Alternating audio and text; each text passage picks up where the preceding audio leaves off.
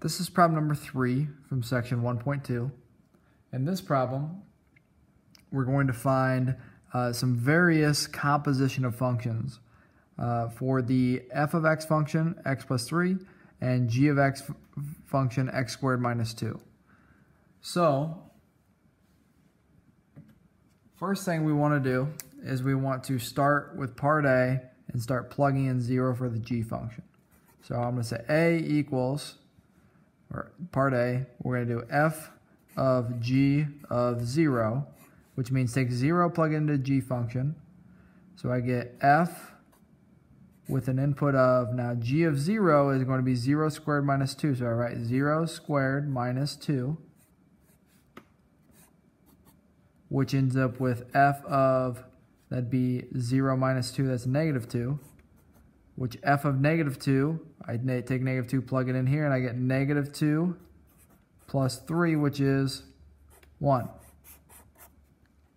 So that's part A, which is 1. Part B, I have g of f of 0. Now I'm taking 0, plugging into f first.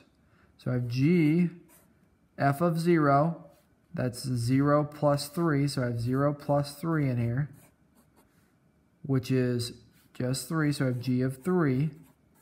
I take 3, plug it into that function, I get 3 squared minus 2, which is 9 minus 2, which is 7. Part C, I got f of g of x. So f of g of x. Now we just take the function and actually plug it into the f, uh, the f function. So we're going to say that's f of x squared minus 2. I plug that in, I get x squared minus 2. Right, I'm plugging that in for the x part in the f function plus 3, which when I combine those, I don't really need the parentheses. I end up with x squared plus 1. Now I'm going to do part D, which is g of f of x. So I'm taking the f function, plugging into g. So that's going to be g of x plus 3, which is equal to x plus 3 going in for x squared. So I have x plus 3 squared now, minus 2. So x plus 3 squared I need to write this out as x plus 3, x plus 3. Don't be that person that just tries to square each of those. That's not how that works, right? So then we end up with x times x is x squared. Uh, 3, well, we do x times x is x squared. x times 3 is 3x. 3 times x is 3x. And then 3 times 3 is 9. Minus 2, I'll just put 7 here. Keep in mind, I did 9, and then I just subtracted the 2, so that's plus 7. So you end up with x squared plus 6x plus 7 for uh, g of f of x. Now part E, I'm doing f of f of negative 4. So I get f of, when I plug in negative 4 into that function, I get negative 4 plus 3. So I have f of negative 1. When I add those, I plug negative 1 into that function again.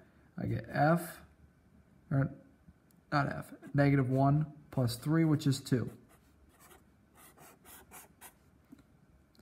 Part F, g of g of 4. So g of g of 4.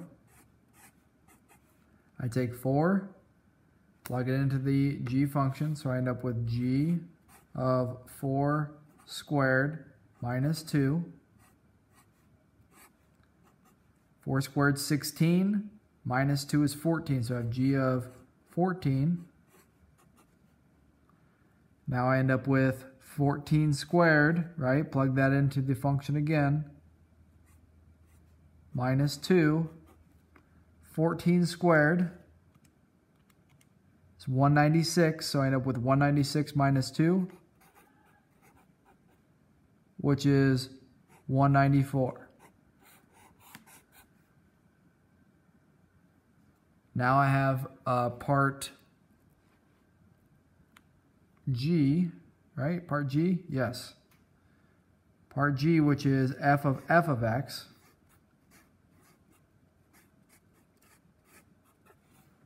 And now I'm taking the actual function, the f function, plugging it back into itself. So I end up with f of x plus 3. I take x plus 3, plug it into itself. So I end up with x plus 3 plus 3, which I don't really need the parentheses, so that's x plus 6.